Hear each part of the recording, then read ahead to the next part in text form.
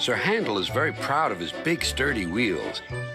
They have broad tires and hold well to the rails, but they are unusual.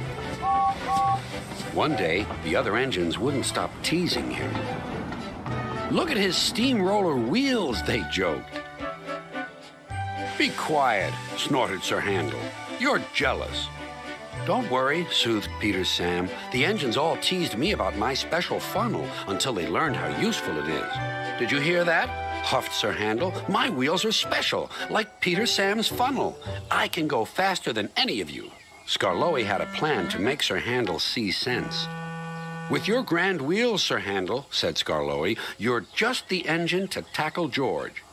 Who's George? That steamroller over there, replied Skarloey. Listen. The steamroller was making rude remarks about the engines. Railways are no good. Turn them into roads. Pull them up. Turn them into roads. Railways are no good. Turn them into roads. Pull them up. Turn them into roads. Don't worry, said Sir Handel. Leave him to me. I'll send him packing. George will soon get a run for his money. Later that morning, George was at the level crossing. Huh. You're Sir Handel, I suppose. Sir Handel was standing no nonsense. And you, I suppose, are George? Yes, I've heard of you. And I've heard of you. You swank around with your steamroller wheels, pretending you're as good as me. Actually, I'm better. Goodbye.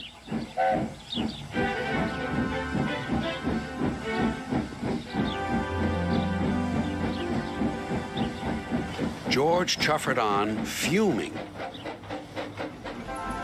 Later that day, Sir Handel brought a special load down after the last train had gone.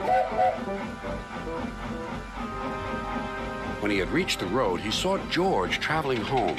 Sir Handel tried to attract his attention. Beep, beep, beep. George took no notice. There was barely room to pass.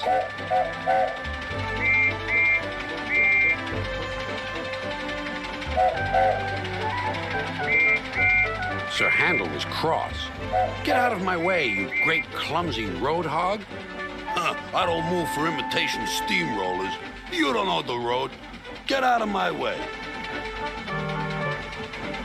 Then there was trouble.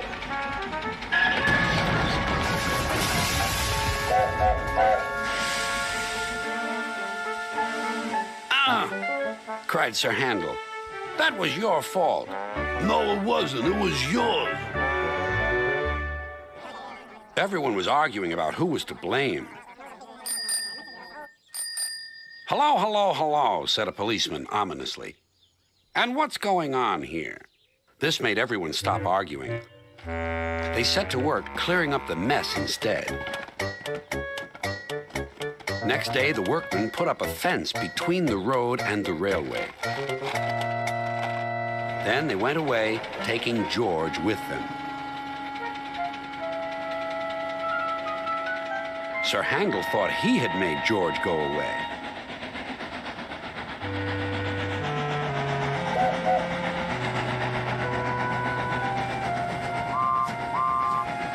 Talked of nothing but steamrollers. Oh dear, whispered Skarloey.